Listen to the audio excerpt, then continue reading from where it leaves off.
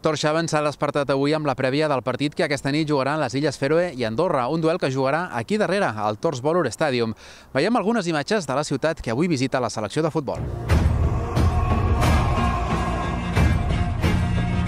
Torshavn és la capital de l'estat de les Illes Fèroe, que forma part del Regne de Dinamarca i que compta amb 18 illes, 17 de les quals són habitades. Capital acull 20.000 dels gairebé 50.000 habitants que té tot el país.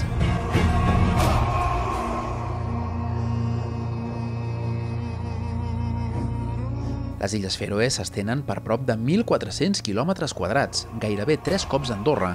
Això sí, amb més de 1.100 quilòmetres de costa.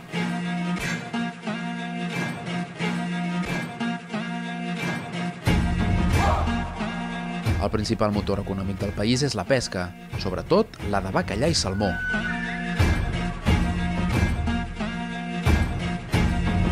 A nivell futbolístic, la selecció de les Illes Fèroe està actualment al lloc 107 del rànquing de la FIFA, 30 llocs per sobre Andorra.